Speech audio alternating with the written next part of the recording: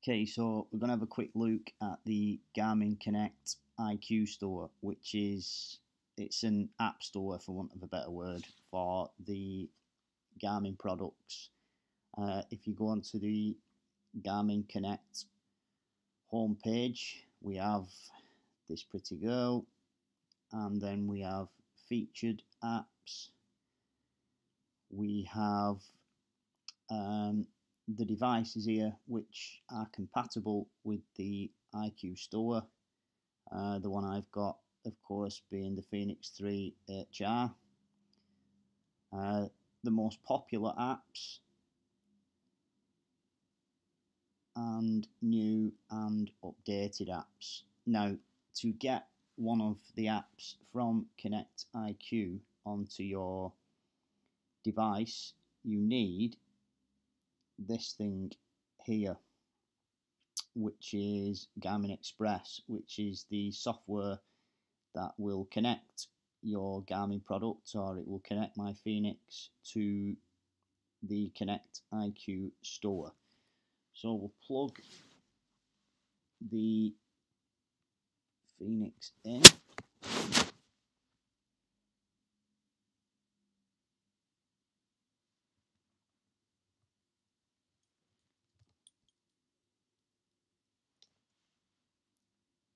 We'll launch Connect IQ and there we can see the Fenix has come up as a device.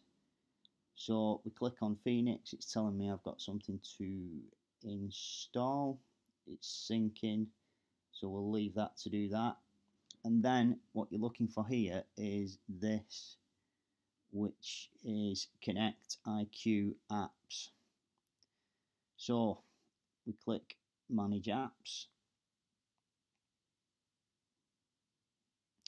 and it gives us a list of the apps which we currently have installed on the device. So what you can also do with these is not there you can't sorry. You can rearrange applications.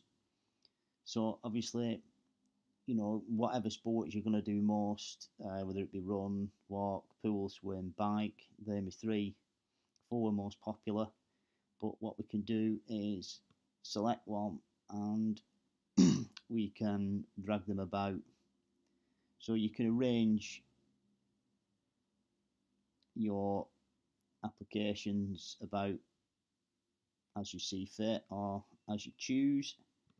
We'll cancel that you can rearrange the widgets which it shows so you can rearrange heart rate steps. So if you wanted to put your intensity minutes up there you just put it up there and then when it syncs with your Garmin device it will show them as they set up there but I'm going to cancel that.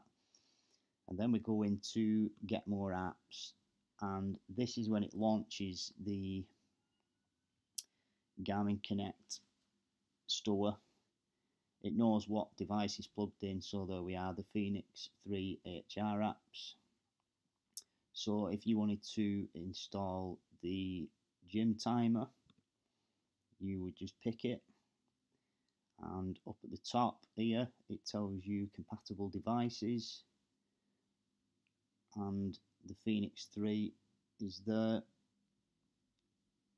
Fenix 3 HR, the Vivoactive, and the Vivoactive HR, HR is um, not listed on there yet. Can't see it. Nope, it's not there yet. Unless that, I would imagine it will be. It'll sync with that. Okay, so we get uh, the description, the basic features. Um, yep, that's all that it does, and then we get some reviews, which are in what looks to be Spanish. Correct me if I'm wrong. And then if you wanted to download that, you just click on the download button, which I'm not going to do because I don't want it.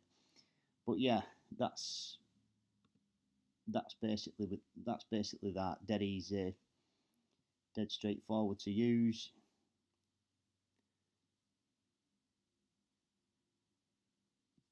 Go back into that.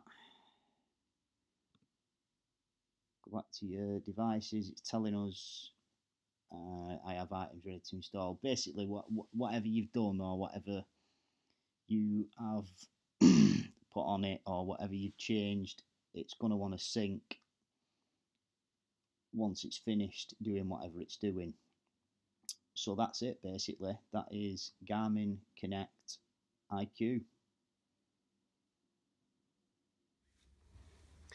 Okay, so when you've done all that and you've disconnected your watch from your computer, anything you've done to it, any changes you've made will obviously show up in your widgets and your applications. Anything you've installed, you will obviously see. There's a sunrise sunset one I put on uh, yesterday. Uh, the clock face, uh, you can see that is off the Connect IQ store also. Now I've done this bit a bit wrong because I was actually looking for clock settings in the main menu and it's not there. It's in settings. And then we go to watch face and you'd select connect IQ and the one you want to put on. That's it. Easy